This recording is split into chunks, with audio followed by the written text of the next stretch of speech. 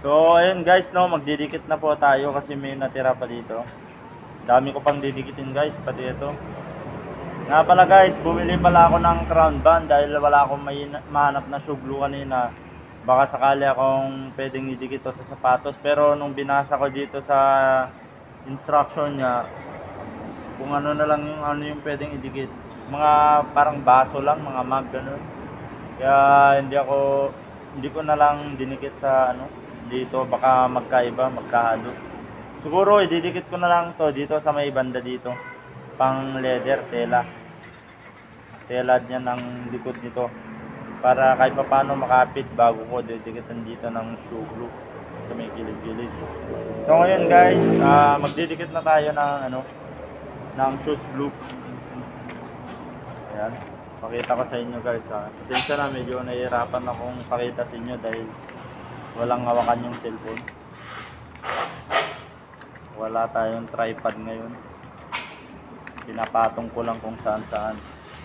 Ah, comment lang po kayo guys ha kung anong magandang pandikit at saan ako makakabili kasi ano, naghahanap ako parang tinatawag ko naman kung saan.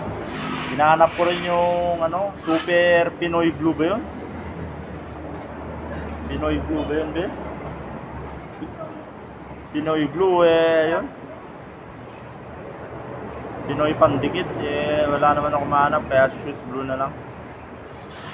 Tingnan nyo yung kamay ko, oh, puro ano na, puro nadikitan pati yung legs ko, nadikitan kanina ng ano, shoes blue.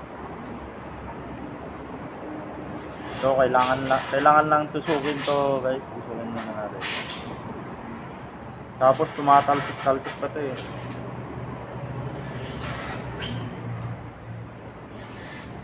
Hop. Tumatalsik-talsik pa to sa kamay.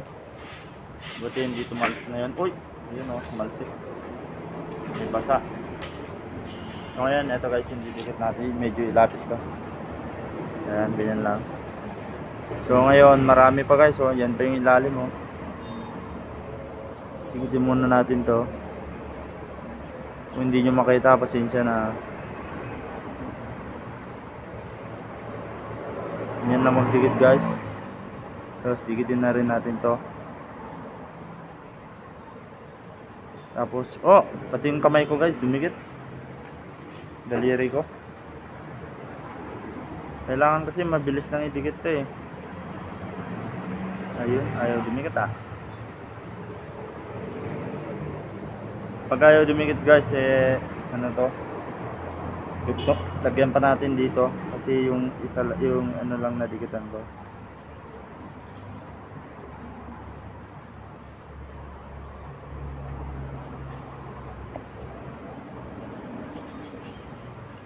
Tapos yan, parang yung mga masahe.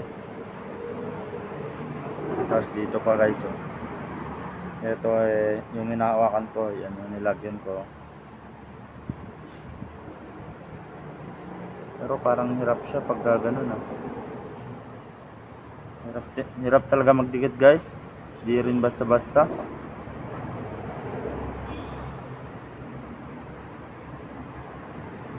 Iba talaga pag yung mga expert na nagdidikit.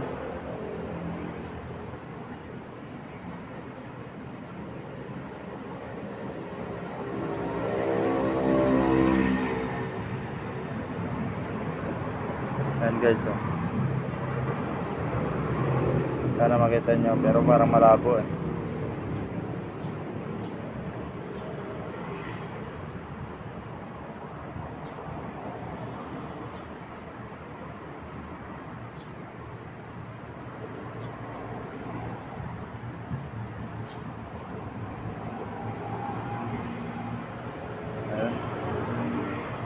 Bilis maubos eh. Oo, konti na lang oh.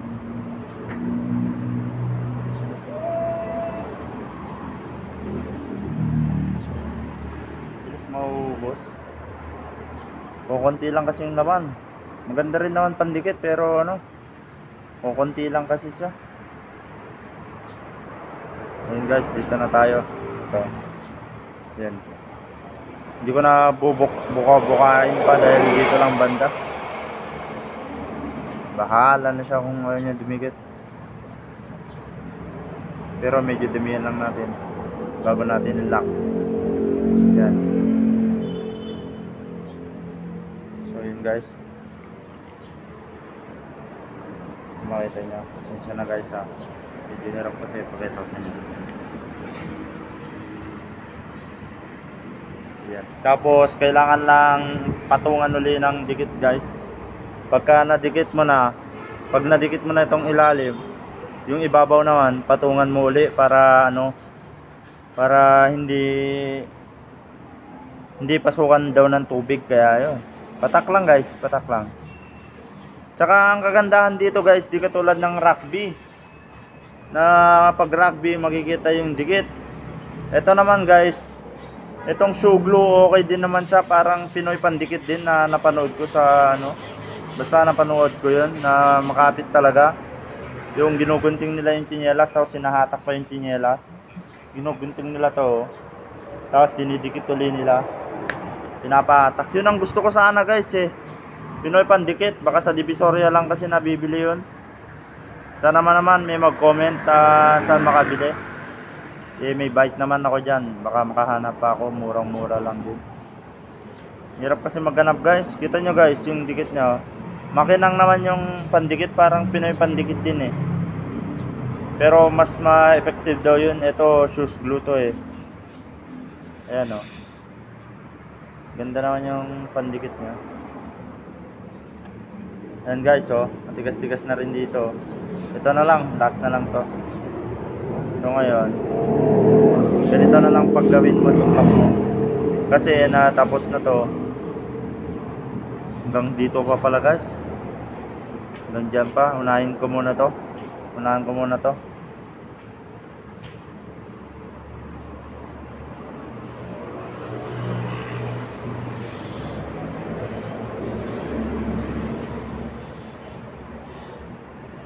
Yun.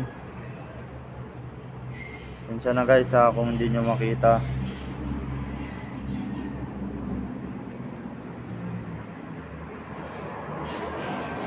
Ayan.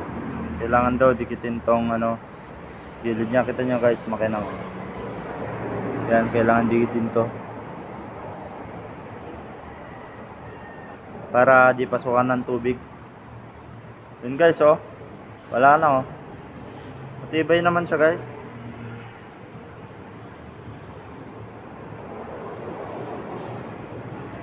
Hindi ako sponsor ng ano guys ah, ng shoes glue ah. Ito eh gawa ko lang talaga to para sa sapatos ko kasi ang hirap eh. Binili ko lang din sa tindahan to, ang hirap maghanap. Sabi, 20 eh bebenta pa nila sa akin ng 18 pesos Ta- tapos sabi ko eh te 15 na lang. Kasi bumili ako nung una sa ibang tindahan, naubusan, dalawa lang ang paninda eh dalawang ano lang, peraso lang. So binili ko yung dalawa, tag 15. Pero alam ko, naririnig ko dati to sa mga naglalako na ano, naglalakad lang na nagbebenta nito eh tag ano lang, tag 10. So ngayon eh nandito tayo sa trabaho, hindi tayo makalabas. Eh buti na lang, may nakita ako sa tindahan, tag 15. Eh, Siyempre, kailangan nilang tumubo. Tapos, bumili ako ng dalawa. Pagkabili ko ng dalawa,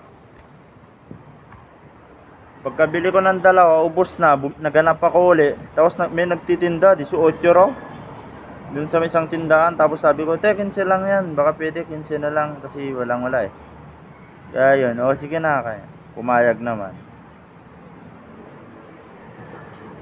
Pero sana ano kasi maganda kasi tong sapatos ko na to, hindi ko na siguro papanlaro to. Pagka ano lang pang lakad-lakad na lang. Kasi wala naman akong ibang sapatos kundi ito lang, guys. Eh may sapatos pa pala ako na isa pero ano eh mas okay kasi tong ano eh gamitin eh. So, ti tsaga-tsaga na lang sa pagkano guys. So, yun guys, oh. Tapos na. Pagkatapos ko, dikitan ng ganyan guys sa loob. Dikitan ko li dik, dikitan ko din dikitan ko din ulit oh. Sorry, nabubulol ako. So, meron pa naman. Dikitan natin tong taas, tapos idiin natin pagkatapos. Okay. Tapos saka idiin. Takpan mo na to, baka ano maubos.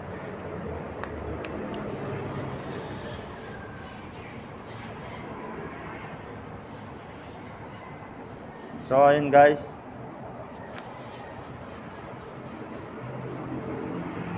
So ayun guys, kanina eh ano binilad ko pa to sa araw. Kanina mata medyo mainit pa kanina.